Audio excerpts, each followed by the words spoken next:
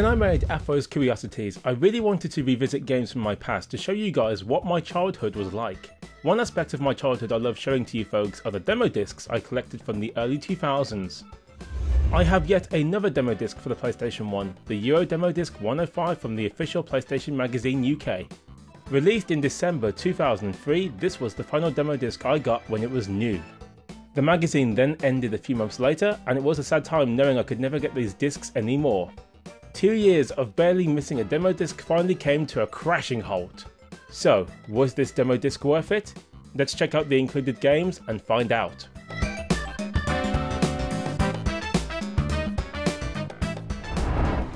First up, it's 40 Winks. This 3D platform game came out in 1999 and as a kid I used to love playing this.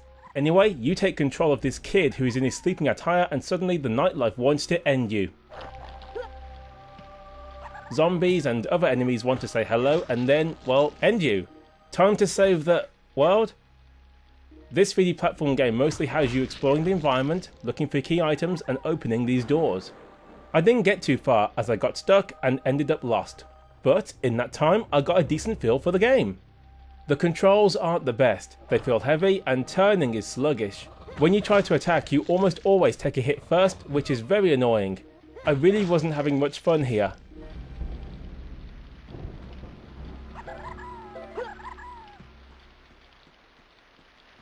The graphics though are incredible. This is 3D done right and the cartoony style really has character and appeal. I can't deny this is a great game to look at. It reminds me of the Spyro games in terms of graphical fidelity. The sound is okay, nothing special and the music although creepy repeats too much and gets old pretty quickly.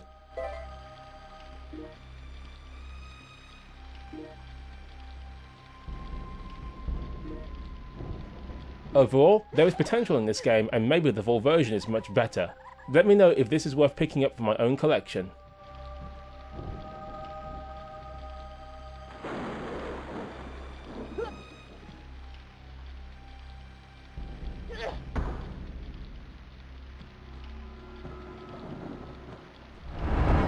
Next, it's Bomberman World. This game is pretty cool. There's one stage to play, and simply put, you have to bomb everyone until you are the last one standing. You place bombs, get power-ups, and find new creative ways to end your foes' lives. There's a time limit to contend with, and if it hits one minute, the stage suddenly cages you in with these square tiles. Yes, a good way to get you more into the action. This is a simple game and it's pretty fun. As you see here, I'm useless at it and I always bomb myself, but this is a game I can get behind. The graphics are nothing special and the sound effects do get tiresome after a long play session, but it's fine. There's no music, which would have helped elevate the action a bit. Overall, this is a good playing game with lots of potential and I certainly would like to own this game someday.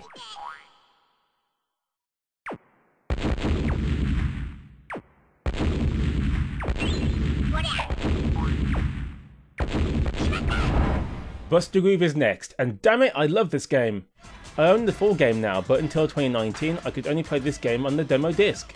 Yes, I know about emulation, but in 2003 I was too young to know anything about that. So, Bust A Groove is a rhythm and dance game. The aim of the game is to dance like a badass and look flashy doing so. This demo lets you play as either Heat or Pinky. Heat was always my favourite. Look at him go!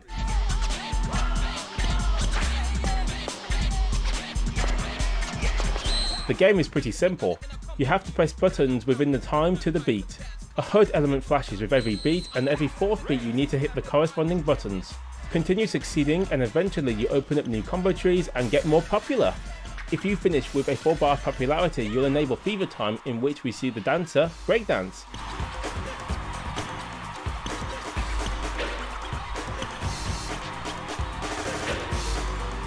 To me, this is worth it every single time. No kidding, I love these. I must mention you can also attack and dodge incoming attacks too. The game looks great with the motion captured animation taking centre stage. You won't have time to admire this element though as you will have to pay attention to the gameplay. The music though, just listen.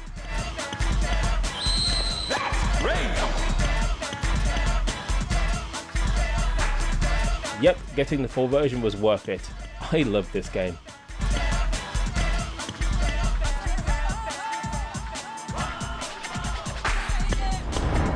Now, it's Cool Boarders 4. The fourth Cool Boarders game in the series had a lot to live up to since I loved the second game. If you want to see my take on Cool Boarders 2, check the video description. As for Cool Boarders 4, it's a snowboarding game and this demo takes place in Vermont. You race downhill with other riders trying to get points while looking cool doing it. Obviously, I poured off all my moves with style and grace. well, so, is this game any good? Hmm, that's a tough question. Compared to Cool Boarders 2, this game is much better to control and pulling off moves here is actually fairly simple. The course designs are much improved and there's lots of smooth looking hills and gradients compared to the second game.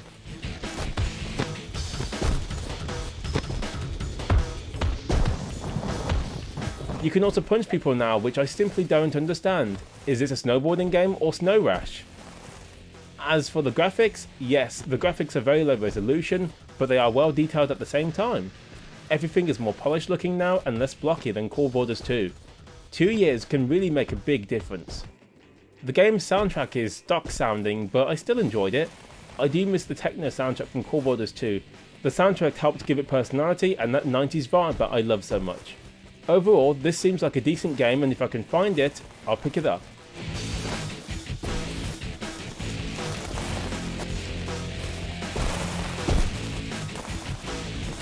Whoa, hold the phone! I found Cool Boarders 4 and I'm now a proud owner of the full version. I'll make a future video on it and give my proper verdict on whether I think it's any good or not. Now, we have Crash Bash. This is a party game featuring Crash and this thing. There are too many games to pick from, Polar Panic and Pogo Painter. In Polar Panic, you are on these bears or something and you have to knock the other characters off the stage. You simply charge into them to push them towards the edge and then... You can recover if you end up on the edge and there's power-ups to aid you on your road to victory. The game mode is fun, the music is pretty neat to listen to, and listen to this noise. Yes, you will hear that a lot. Pogo Painter is the other game to play. This one sees you on a pogo stick colouring the tiles in your colour. The more tiles you colour before hitting these purple boxes, the more points you get. Have the most points at the end and you win. This mode is not as fun, but the music is definitely better and it can get frenetic towards the end of each round.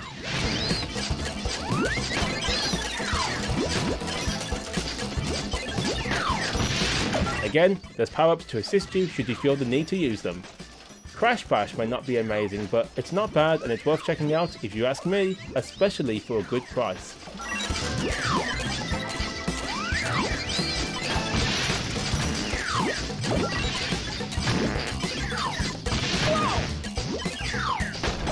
Let's now look at Treasure Planet. The movie was great but bombed at the box office. Will this game salvage the underrated movie? Mm, about that. Treasure Planet is a basic 3D platform game with elements of other games such as light gun games. The aim of the game is to open up new areas and to move along in the level while assisting other characters to get more of the space token things to do something. I guess in the full game we would need these to progress. The game is as simple as they come and to be honest I was bored stiff! I mean, I played this game for way longer than I really wanted to. The game is just so dull and uninteresting.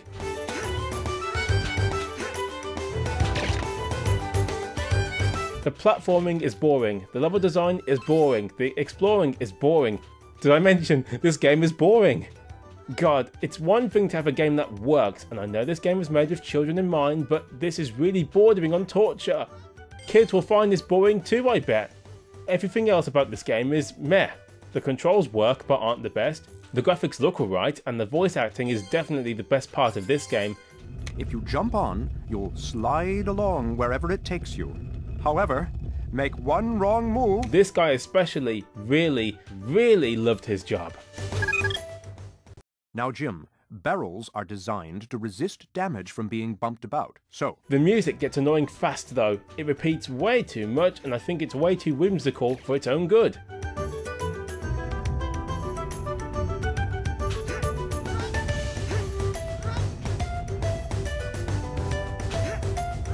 If you couldn't guess by now, this game didn't really impress me. If the full version is the same as this, I don't recommend it, at all.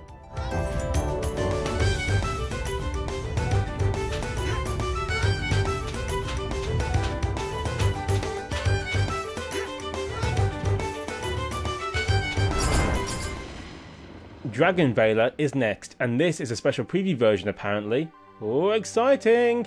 This is an action RPG game where you play as this guy. His name is Clovis. That's all I know. You start trying to navigate this lava pit of death while also putting out these platforms that are on fire. There's a few items to collect such as health and magic upgrades and health refills.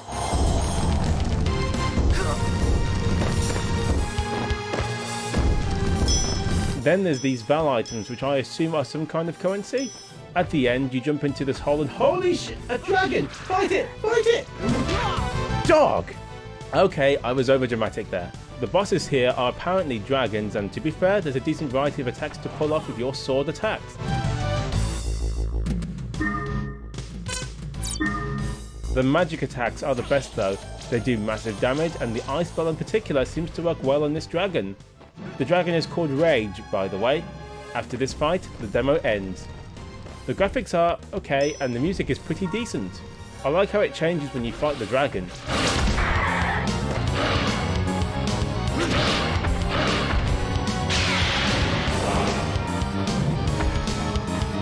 This seems like a decent game, but seeing how not many people talk about it, I have a feeling it's expensive. Still, maybe I'll pick it up one day.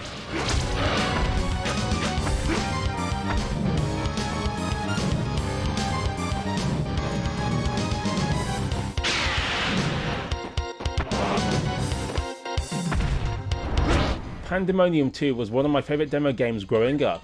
This 2.5D game is pretty cool. You can pick either Nikki or Fargus. I chose Nikki as she can double jump and this makes platforming much easier. As you can see, the game is pretty unique. The camera changes and tracks the character as you move forward. The camera also loves to remind you of the 3D graphics and I like how the angles show off the dangers you face as you play.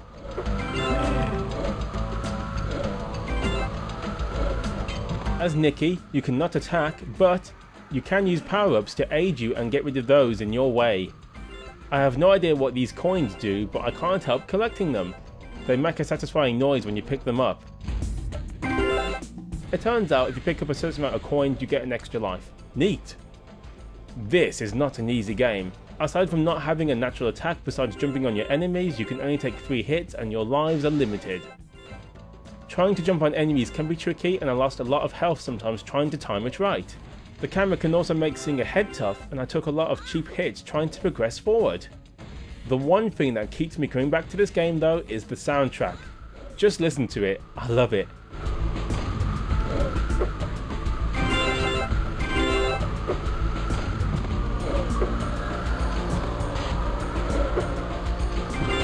It really sets the scene, mood and it's just fun to have in the background. Whoever composed this song, thank you. This is a decent platforming game with a quirky style and I for one approve. If I can find this game, I'll certainly pick it up.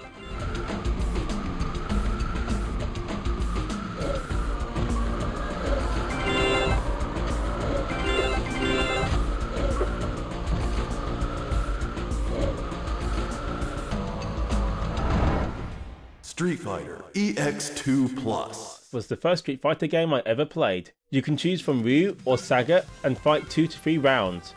This is a 2D, 3D fighting game. You can pull off many combos, special moves and activate the EX mode which makes you faster and able to pull off your ultimate move.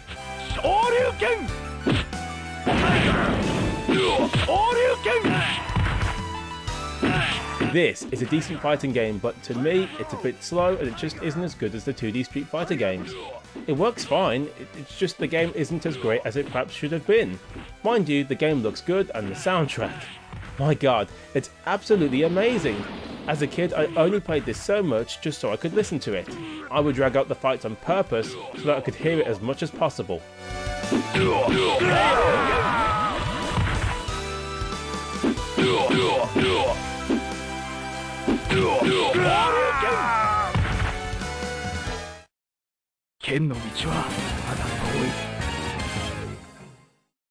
I want the full game, just so I can listen to the whole soundtrack and maybe save it on my iPod for my own listening experience. Overall, this is a decent game, but it's not the best Street Fighter game ever. If you can look past that fact, this is worth a consideration for your collection. I bet this game is pricey though, knowing my luck.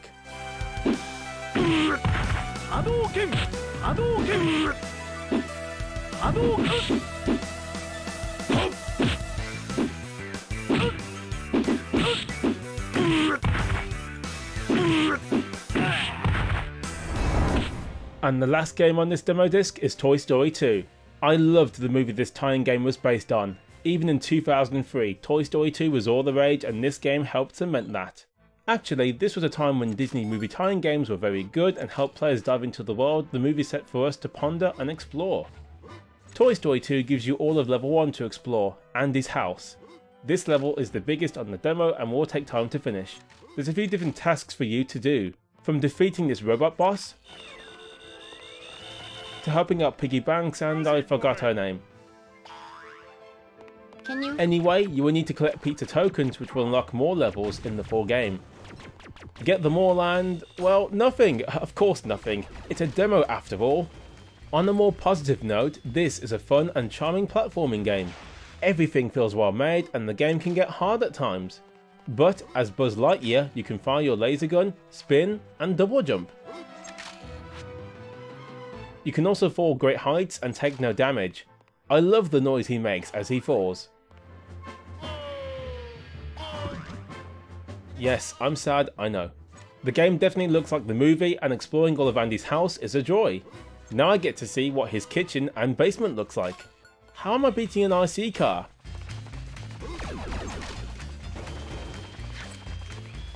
Anyway, this demo is great fun.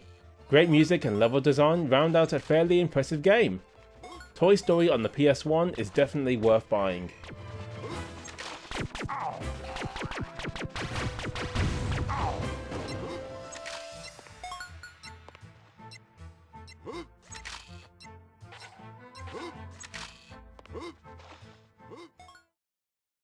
Well folks, there you have it.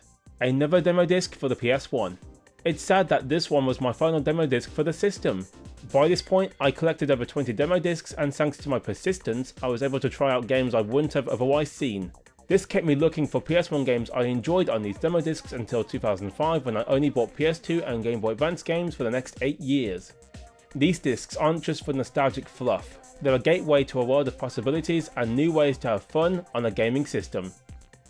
So, let me know what you thought of this demo disc and until my next video, I will see you soon.